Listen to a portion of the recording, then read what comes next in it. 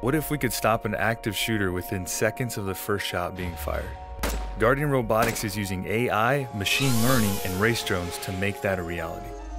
Equipped with law enforcement grade pepper spray capable of incapacitating the shooter for over 20 minutes, the drones can intercept and take down the target within seconds. An on site gunshot detection system listens for gunfire. If shots are fired within range, a swarm of drones is released and sent to the shooter's location. Once taken down, the drones land to save power while monitoring the situation.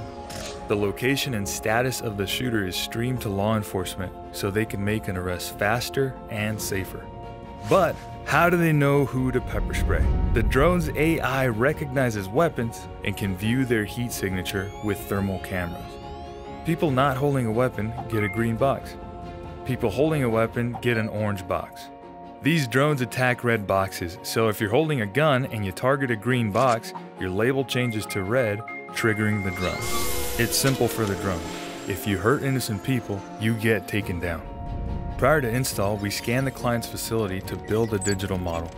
It's then stored on the drone's memory, so as it flies through the space, it can compare structures or topography to the digital model.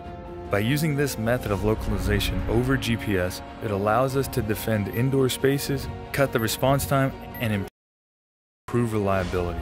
The drone's AI is dropped into the model and tasked with defending it, while a second algorithm conducts attacks. These simulations are run for thousands of hours. The AI customizes its tactics to best defend the public within that space. It learns window breaching for building access, strategic positioning for coordinated attacks, distraction and flanking maneuvers for faster takedown. Our drones do not learn on the job. From the first day they arrive, they are experts in stopping active shooters and saving lives. With technology at our side, we can respond faster to these terrible tragedies and deter future ones. Together, we can protect our families, our communities, and our future.